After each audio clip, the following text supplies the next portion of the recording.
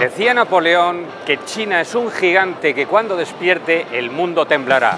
No cabe duda de sus acertadas palabras. Máxima en una edición del Salón de Frankfurt como esta, que ante la notable ausencia de grandes fabricantes como Nissan o el grupo Fiat, su espacio ha sido ocupado por fabricantes chinos como por ejemplo Chery, Thunder Power o Great Wall. Atención, atención, que vienen los chinos dispuestos a copiarlo todo, todo.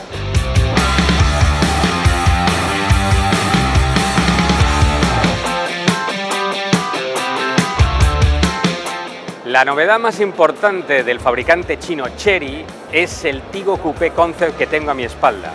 Un modelo que ciertamente es atractivo y que ha bebido de varias fuentes, como por ejemplo el Porsche Macan, Toyota CHR, etc, etc, etc.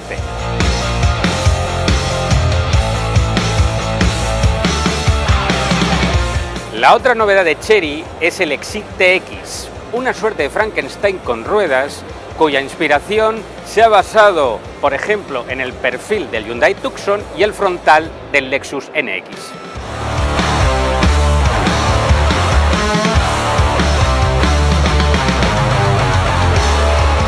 Subimos en un escalón, estamos en el stand de Way, la división de lujo del gigante asiático Great Wall.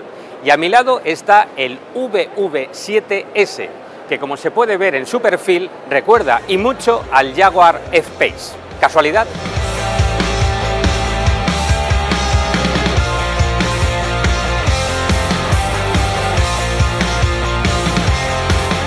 He de reconocer que este modelo que tengo a mi espalda, el XEV, me ha llamado poderosamente la atención. No solo por su notable color rojo y sus puertas de ala de gaviota, que tiemble el Tesla Model X, sino sobre todo porque presenta una novedad muy innovadora, y es que la carga es de forma conductiva.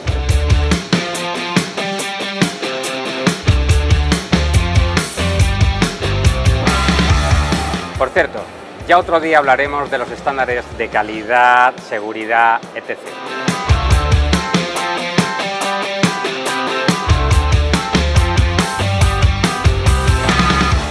Y para el final he dejado a la única marca china que salvo de la quema, Thunder Power, o esto es, el poder del rayo, una marca que cuenta con un centro de diseño en Milán y que por cierto abrió recientemente un centro de I+D en Cataluña.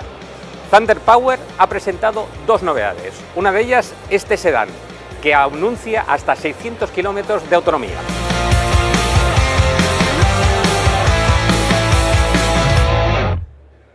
La otra novedad de Thunder Power es este SUV que tengo a mi derecha, que utiliza la misma plataforma que el sedán y que cuenta con un diseño muy futurista tanto por fuera como por dentro.